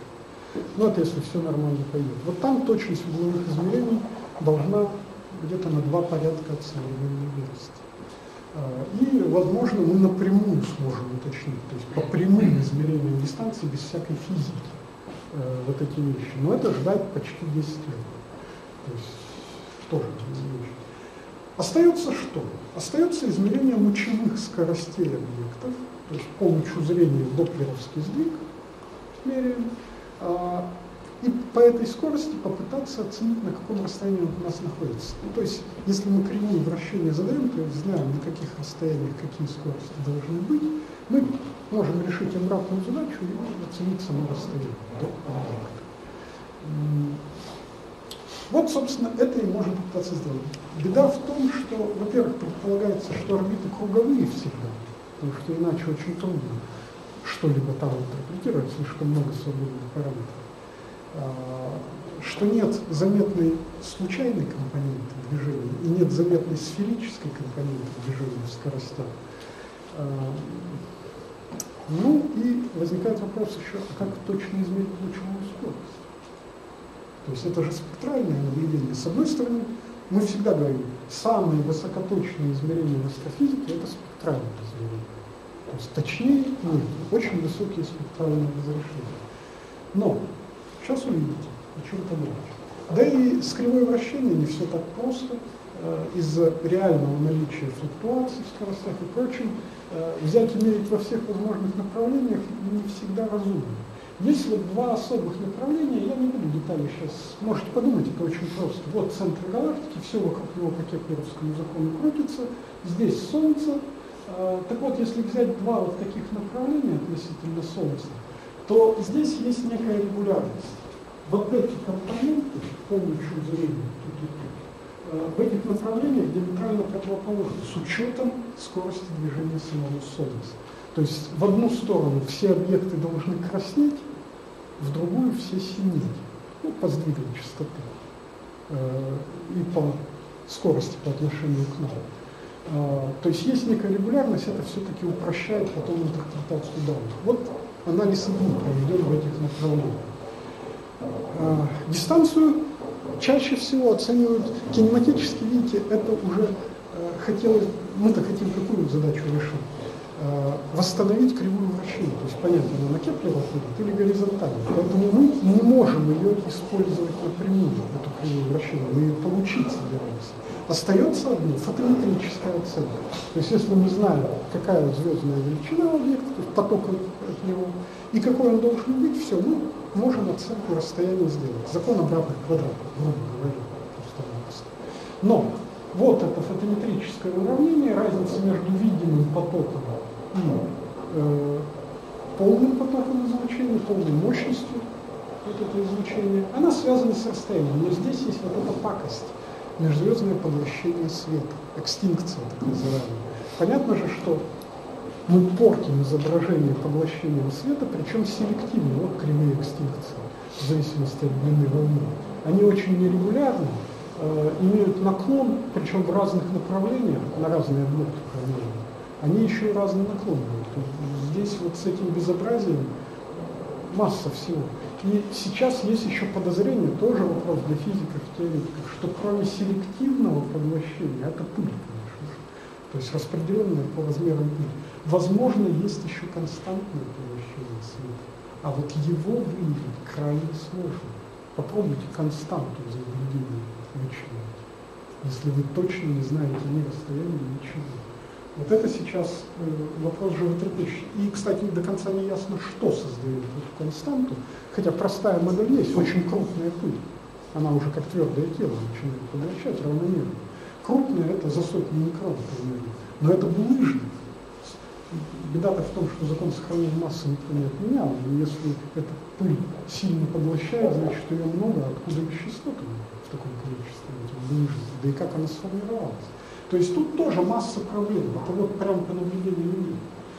Ну а спектроскопические методы, да, они высокоточные, но вот посмотрите. А, здесь красным вот этим сине-зеленым цветом даны спектры излучения а, двух звезд, находящихся на разных расстояниях от нас, имеющих по оценкам одинаковую температуру. Это очень важно потому что это оценка спектрального класса, а именно по ней делается оценка полной мощности излучения. То есть вот он вклад в ошибку. А, но вот тут уж так получилось, тут Даша-то, конечно, знает, о чем речь, пятый класс и первый класс, да? То есть вот это обычная звезда, вроде нашего Солнца, то есть звезда главной последовательности, а это сверхгигант. То есть это существенно разные по своей структуре объекты. Так вот, здесь получилось с точностью до наоборот по ширине линии.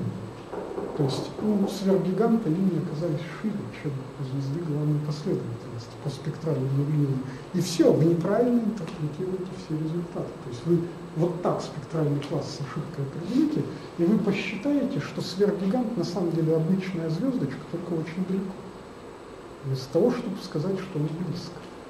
А, то есть и такое бывает. Это вот как раз те самые особенности межзвездного поглощения, которые мы знаем очень плохо.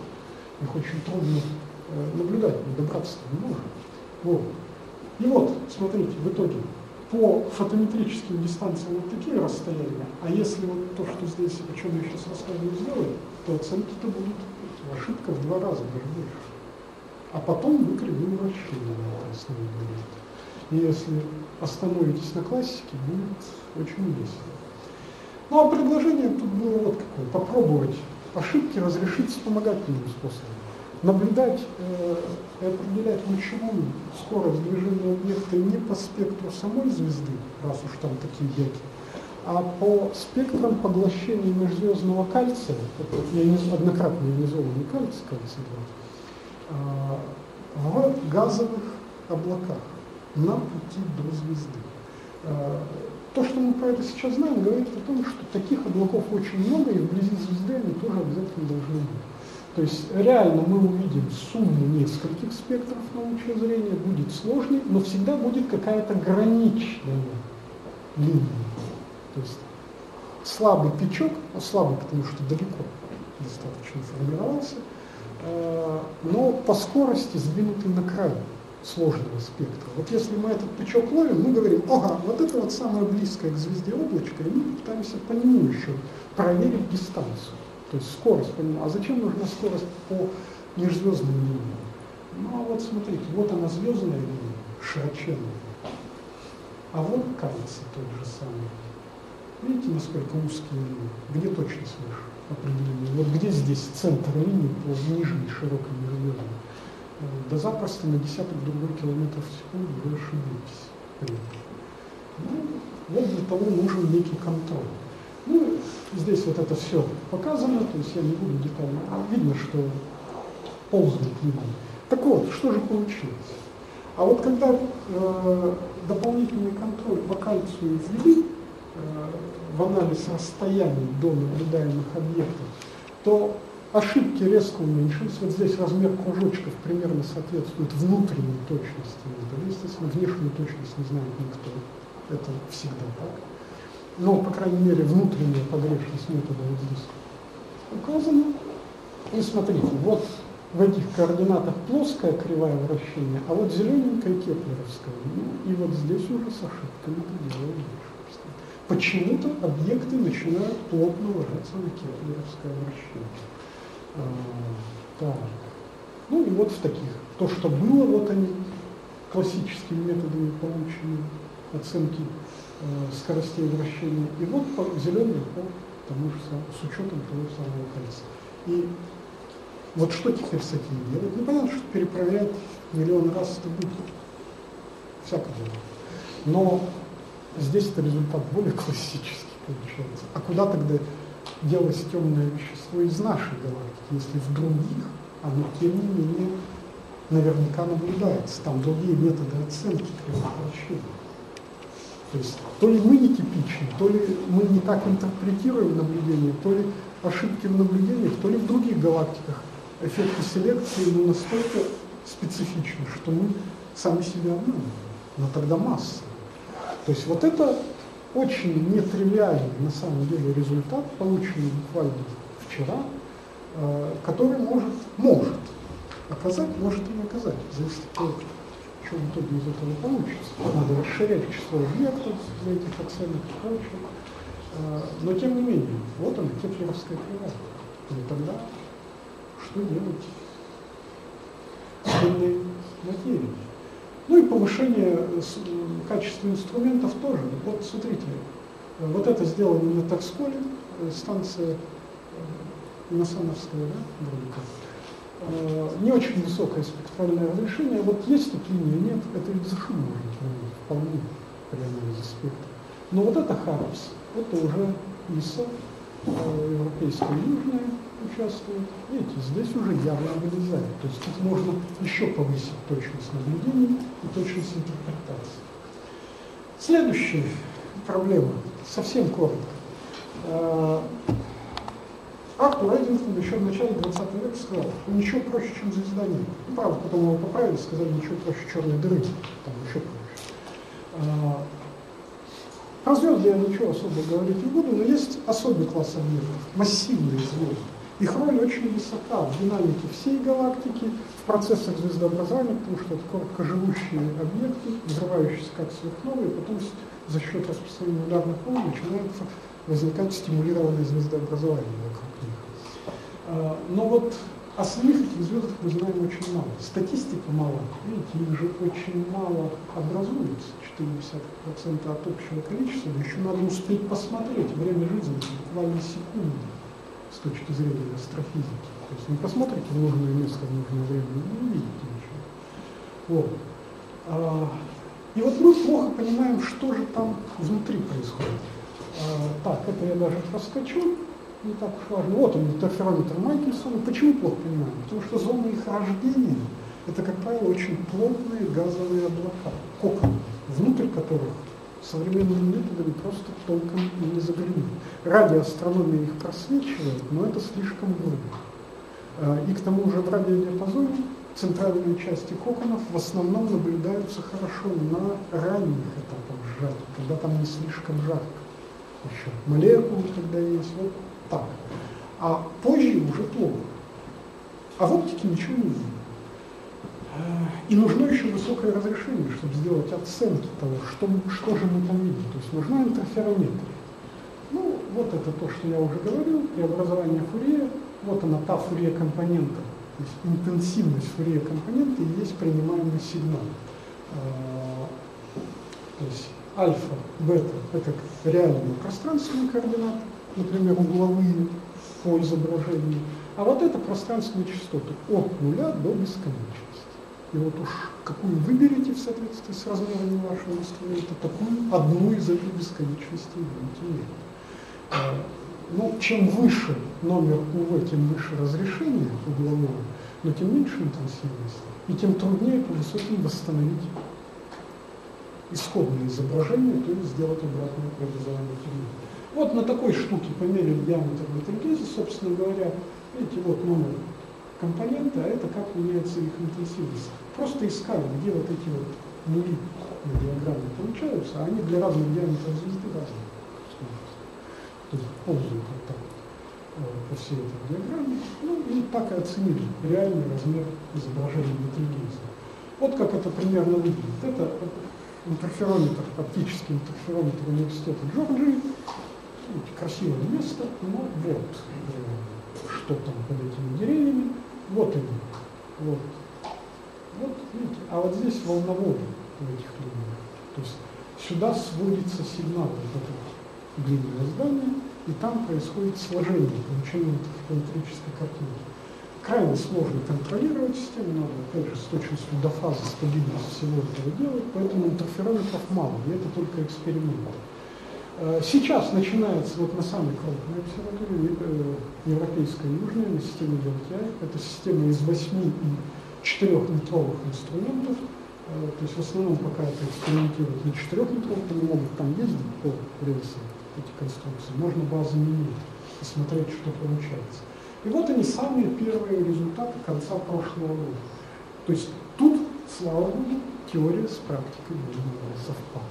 То есть удалось просветить в инфракрасном диапазоне 2,2 микрона описаны вот таким пучком зону. То есть смотрите, 20 астрономических единиц на расстоянии порядка килопарсека. Э, вот такая, то есть несколько астрономических единиц, астрономическая единица это от Земли до Солнца. То есть реально наблюдается вот эта дисковая структура с ростом плотности, видимо, ну, по крайней мере температура уж точно э, в системе. Э, это другие наблюдения дисков. И вот тут линиями показаны э, реально наблюдаемые в оптике или в радиодиапазоне истечение или выбросы вещества. То есть э, восстановление интерферометрической картины сделано достаточно адекватно. Видно, что как раз по осям примерно не получается. То есть обмана здесь сильного, во всяком случае, нет. То есть вот это одно из современных направлений, которое будет, естественно, активно развиваться, и здесь нужна большая помощь и специалистов в оптике, потому что немцы, например, свой бинокулярный телескоп так и не смогли э, ввести в действие как интерферометр 2 по 8 метров. Не, не хватило точности изготовления оптической системы. Так он и действует, как два отдельных 8-метровых инструмента на общей монтировке. Э, как поддержка математиков, потому что интерпретация интерферометрии в первую очередь зависит от заложенной модели. Э, у вас не все компоненты, вы куда-то тренируетесь. Ну, в общем, вот так. И связанная с этим задача, истечение таких объектов. Вот это на протяжении, ну, сколько, пяти лет примерно, даже меньше.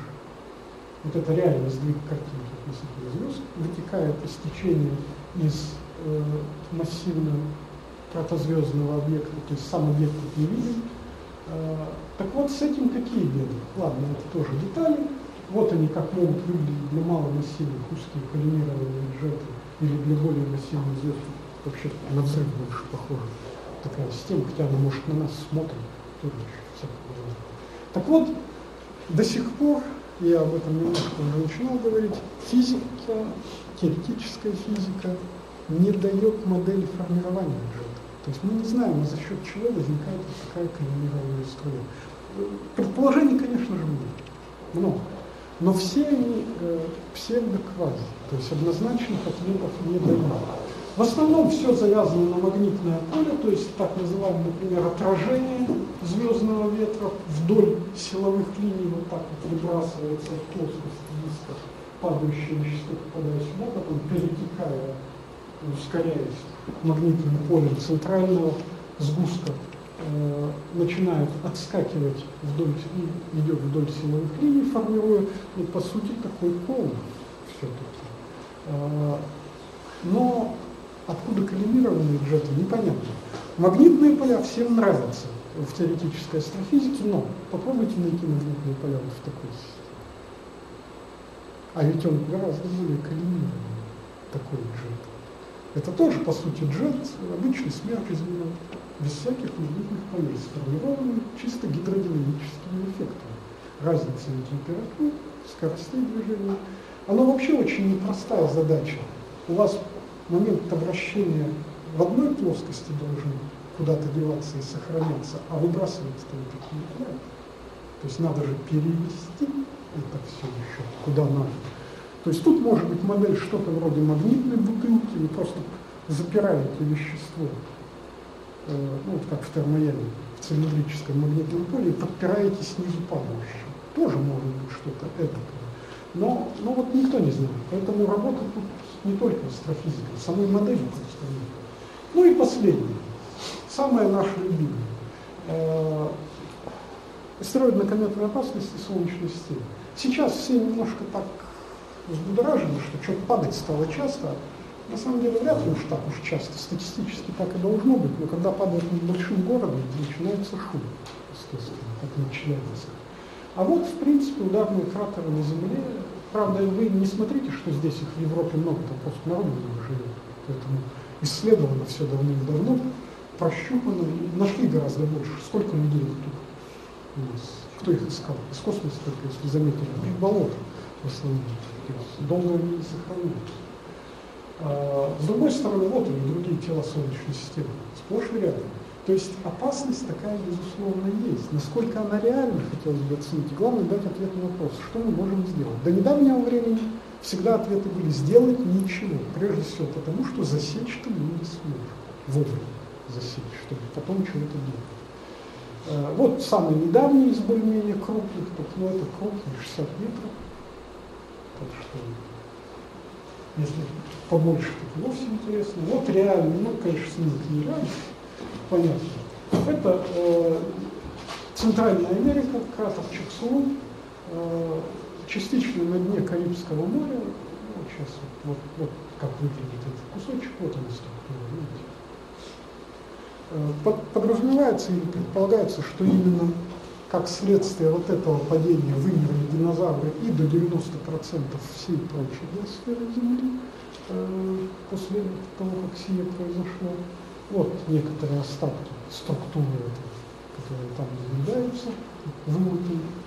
Э, а что сейчас мы умеем? Ну, кое-что, как ни странно, умеем. Вот смотрите, 2008 год, упавший астероид, правда, он там всего что-то в размерах единицы метров, то есть скорее метеорит, вот он так свалился, но что тут интересно, его засекли на подлете все-таки за несколько дней до удара по земле и успели рассчитать траекторию этого падения. То есть все-таки небесная механика сейчас очень неплохо уже развита и умеет быстро такие вещи делать. А, то есть траектория падения была рассчитана, примерно предсказано, куда он свалится. Вот Земля ее сама немножко подтянула, естественно, к себе на пролете. Вот она, запланированная траектория падения, Египет, ну, там уже, что там у нас по лимиту, Сомали, наверное, да? или Эфиопия, картину. А, и где-то вот тут вот он должен был упасть. Успели даже отфотографировать траекторию в атмосфере, это уже разметенный след. Ну и нашли примерно там, где предсказано. 4 метра примерно должен объект, 80 тонн, но нашли вот порядка нескольких килограмм этого вещества. Правда, конечно, это не страшно, даже если по городу ударило, э, а он же взорвался все равно в атмосфере. Ничего особого такого. 30-40 километров, примерно как Челябинск, кстати. Э, вошел в плотность. А вот другой объект, 2012 до 2014. Упал, ну он близко прошел к Земле, не упал, Э, год назад, практически точно год назад, это вот модель, вот, вот смотрите, вот Земля, вот вытянутая более-менее траектория этого астероида, тоже несколько там десятков метров размер. Э, вот он вошел ближе к Солнцу и догоняет Землю, естественно. Вот траектории сходятся. Вот он едва проходит ну, примерно так, конечно его изображение не получено, радарные есть, оптических, конечно же, нет. Э, а вот он как просквозил мимо Земли, этот объект. Ну и чем занимаются астрономы в празднике? 1 января 2014 года вот еще один павший на нас не крупный, правда, астероид, и тоже успели для него оценить траекторию по этим наблюдениям. Всего-то 7 наблюдений в узком достаточно интервале, вот можете засечь, это часы, последнее число. То есть очень коротенький участок, в общем-то, траектории, поэтому ошибки там тоже не маленькие. А, ну вот, вот тут почти по прямой садовило, без особых уже изгибов. А, вот где-то вот там, скорее всего в океане, конечно, его не нашли. Но это тоже был небольшой объект, и Бог бы с ним. Вот этот рисунок гораздо более важен. Смотрите, это статистика астероидов разных размеров. Вот размеры астероидов, вот с километр. То есть крупных довольно мало, и их мы знаем все. То есть крупные объекты, они зафиксированы. А, потом идет рост в более мелкий, и вообще из общих соображений понятно, что чем мельче размер, тем больше объектов должно быть. А, но вот тут, видите, падает количество. Это эффект селекции. Попробуйте объекты размером в десятки метров на больших расстояниях от Земли засечь. Просто никак не увидеть. Вот если здесь примерно так сделать, то получается, что этих объектов гораздо больше. А вот этот диапазон – это страшный диапазон. Вот это сейчас политическое направление, то есть на, именно на этот диапазон выделяются государственные средства, нужны механизмы контроля и поиска объектов размером от 100 метров. То есть поставлена официальная задача каталогизировать большую часть, минимум 95% объектов более 100 метров. Челябинский метеорит – это меньше 20. Если бы он рванул на 10-15 километров ниже, то есть наклон траектории был выбран Челябинска бы не было вообще. То есть его бы выдавили взрывной волной, ну и излучением от вспышек. Там все-таки по оценкам от половины до десятка мегатонн энергии выделилось в этом взрыве. Ничего хорошего. А вот как раз эти-то объекты, то есть объект размером в 200 метров, съезд Европы не заметит своей ударной волной. А мы их почти не наблюдаем. Слишком слабы. И вот это вот основная современная задача. Ну и чтобы завершить, вот смотрите, все-таки небесная механика наконец смогла сказать, а когда и как мы можем хоть что-то сделать. Понятно, что мощных ракет у нас нет, э, кораблей, которые долго могут летать в пространстве, мы не имеем, мощных двигателей фактически тоже. Ну, то есть мощный двигатель-то есть, сколько им топлива чтобы они работали. Ракета работает ну, минуту-две всего лишь на старте, в основном. До 10 минут в худшем случае. Э, и тысяча тонн топлива вылетает при этом. То есть доставить такое на какой-то удаленный астероид нереально. Но вот электроракетные плазменные двигатели малой тяги, они гораздо более экономичны. Но у них очень маленькие импульсы. То есть они не дают большую тягу. Так вот, оценки примерно следующие. Смотрите на основе расчета. А, чтобы астероид в сотни другую метров размером увести со своей траектории на 10 мегаметров, ну так, чтобы уж точно землю не вмазал, то нужно примерно 8 месяцев работы двигателя массой в 1 минут. Ой, тяги в 1 минут. Это уже более-менее реалистично, только вот эти 8 месяцев что означает? Надо вовремя заметить. И принять решение. Все-таки дорогая операция, очень дорогая. Туда отправлять на удаленные объекты, чтобы успеть долететь, как-то там, как-то, вот это тоже интересно, как сочленить двигатель и астероид, а главная проблема-то, я думаю, очевидна, астероид-то вращается. Очень сложная задача. Ну, а можно и попроще. Но это уже, видите, три года практически требуется, чтобы одна десятая Ньютона заметила была астероид. Ну, то есть, в принципе, решаемо, но все упирается в систему поиска и определения орбит с высокой точностью. Тут и математика, и техника. То есть, но в принципе задачу можно решать без Брюса Уиллисов, взрыв сильный и прочего, вполне таким аккуратным путем. А, а решать ее придется. Вот они, известные астероиды, сближающиеся с Землей. Вот она орбита Земли, и видите, сколько тут всего накручено. Это из того, что мы знаем. То есть вероятность, она далеко не нулевая, особенно для сравнительно крупных тел. Ну, а выглядеть это должно примерно так. То есть не надо останавливать его обращение. Мы, конечно, это не сможем сделать. Гравитационный тягач делается. То есть корабль подвешивается в гравитационное поле астероида рядом с ним. Ну и маленькой тягой начинает пытаться от него уйти, а дальше второй закон не работает и все. То есть надо просто более-менее точно. Ну ладно, я вас уже утомил, поэтому спасибо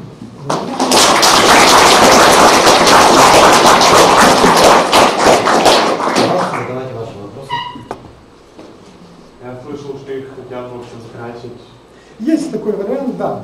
Но э, это просчитанный, причем довольно давно вариант, что если изменить коэффициент отражения поверхности, то естественное воздействие солнечного давления изменится и все. Но возникает несколько вопросов. Одни из них очевидны. Опять же, сколько надо краски и как красить, как эту краску туда доставлять. Да? А во-вторых, возникает еще один вопрос. Вот совсем недавно были опубликованы снимки, э, полученные японским аппаратом, э, который недалеко от астероида, там не помню название, э, пролетал. Так вот, довольно крупный, ну относительно, там несколько километров, ну, меньше, около километра объект, э, но в отличие от тех снимков, что я вам показывал, э, других тел Солнечной системы без атмосферы, никаких кратеров на нем ударных нет. Почему? И таких объектов, судя по всему, довольно много. И как раз есть подозрение, что Челябинское тело – это нечто похожее на такой объект. Отсутствие ударных кратеров о чем говорит? О том, что перед нами не единое тело, не телный камушек из чего-то там железа, силикаты, лед. Это, это одно, как раньше представлялось а скорее всего перед нами конгломерат сравнительно мелких камней, гроздь винограда, так называемый, засыпанная мелкой пылью. Вот как ее покрасить такую систему? На чем должна держаться краска в этом случае? То есть тут, ну, да, такая модель рассматривается, но э, эффекты воздействия для крупных тел слишком малы, то есть там же закон квадрата куба, то есть соотношение массы поверхности срабатывает. И поэтому красить сравнительно крупные тела бессмысленно, солнечное давление, ну, конечно, будет меняться, но это нужно тысячи лет, чтобы заметно изменить траекторию в таком случае. А маленькие тела красить, может быть, что-то и попробуем на самом-то деле. Есть даже мысли об экспериментах в этой области. Хотя реально такие эксперименты проводились. Это Э, баллоны, которые надували на высоких орбитах, и у них разный тип поверхности по отражению. Как это себя ведет? Конечно, эффект есть, но он хорош для объектов с большим соотношением площадь массы. Парусность, так называемая, фактически. Э, вот. Поэтому, ну, может быть, да, но, но это не панацея. Все-таки активное воздействие, скорее всего, более реалистично. Хотя технически сложно пока что а, взрывать бомбу там? Нет. Нет. Ну, во-первых, бомбу надо чем-то доставлять, причем с хорошей точностью, и рвать ее на поверхности почти бессмысленно. Вот не зря Брюс Уиллис бурил дыру. Э, то есть поверхностный удар – это хлопок ударной волны всего лишь. Какая доля энергии передана астероиду, можете даже прикинуть, но небольшая, вакуум. То есть хлопок-то будет только излучение фактически, и тем веществом, которое разлетается из вот этой огненной сферы взрыва. А его там десятки килограмм самое больше. То есть это не импульс как таковой. Ну и что в этом случае делать э, с соглашением о демилитаризации космоса, тоже непонятно. Потому что тут достаточно один раз отпустить эту систему, и в миг вся Луна будет заставлена китайскими ядерными ракетами. Ну, кстати, так оно скоро и будет. Кстати, это официально заявили, что они через 15 что ли лет военные базы на Луне поставят. Со стратегическими ракетами. Ну, кто обгонит, тут уже вопрос. Нам база на Луне? Проще ли с Земли на Землю спустить? Нет. А, это оружие не первого, а ответного удара базового. Вы ее не можете уничтожить. А, почему? А пока к ней боеголовки подлетят, те отстартуют безо всяких проблем. То есть, ну, скорость-то ограничена. А подлетное время как бы Сутки. за эти сутки? Нет, а что, сбить боеголовки? Зачем? Если мы это? Челябинский метеорит, мягко говоря, пропустили на входе в атмосферу, и то косвенно, то есть его же не обнаружили, перебрали потом снимки со спутников и этот след засекли. А он-то куда больше размера. То есть сами старты, ну, может быть, да, действительно, это все фиксируется, инфракрасная вспышка будет большая. А как ловить эти боеголовки? Про это пока условность, по большому счету, для массированной атаки.